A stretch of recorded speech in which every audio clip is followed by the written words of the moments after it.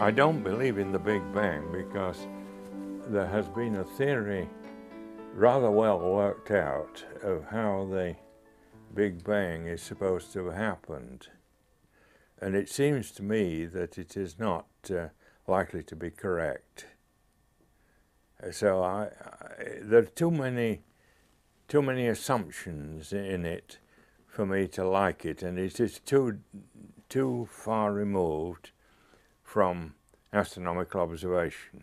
Uh, quite obviously, we can't um, observe what happened um, 10,000 million years ago. Whereas uh, we can observe what happens in the center of a galaxy today. And so I prefer always to choose the alternative that allows one to carry out observations now. I don't like the idea that uh, something is dependent on, on uh, a cause that I can never verify. So I don't like this because it's in the past. It's all over and done with. I can't uh, can't get at it, as it were. So I, I, I tend to avoid it. I don't like it.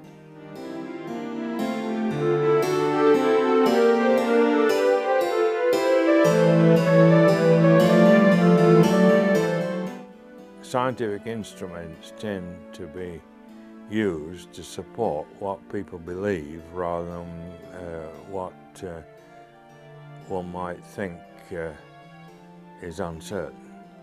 The, uh, the idea is not to really to find anything new, but to confirm what you think you already know. And this is this uh, tendency, which is probably fairly general in everybody, has taken a tremendous lurch in, in my view, in the wrong direction with the development of science due to governments. Uh, nowadays, uh, it's, it, the money used for large scientific instruments is almost always uh, supplied publicly by, by governments and um, in, in effect by the taxpayer. And invariably, it, it is then only used to support current prejudices. If you go to any uh, telescope uh, committee that allocates time, as people people describe it, allocating time uh, on the on, in the use of the instrument, uh, and you propose to find something that they don't want that that would be would be uh, opposed to current thinking, you will not get the time. You will definitely not get the time.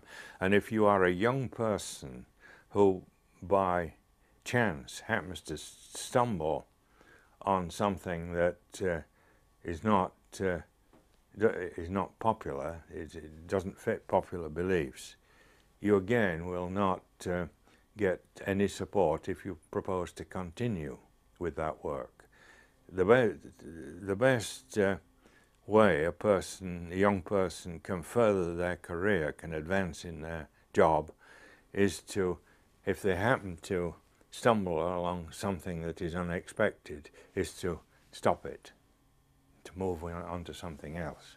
That, I'm afraid, is the way one will inevitably go in a democratic society. We're all told that democracy is good, but there are many things in which it is not good, and that is one of them.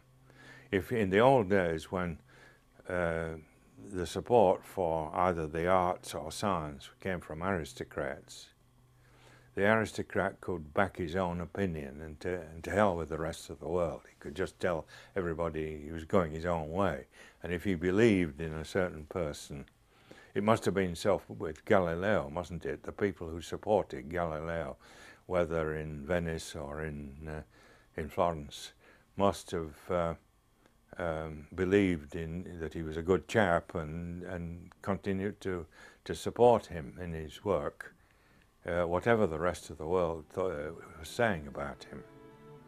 And uh, we, we lose that once we go to a democratic society it all becomes a matter of votes on committees uh, where the members of the committee are tend to be rather inferior people.